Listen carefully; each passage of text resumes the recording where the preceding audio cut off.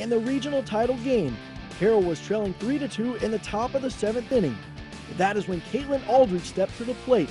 She hit a two run home run to left field to win the game for Carroll 4 3.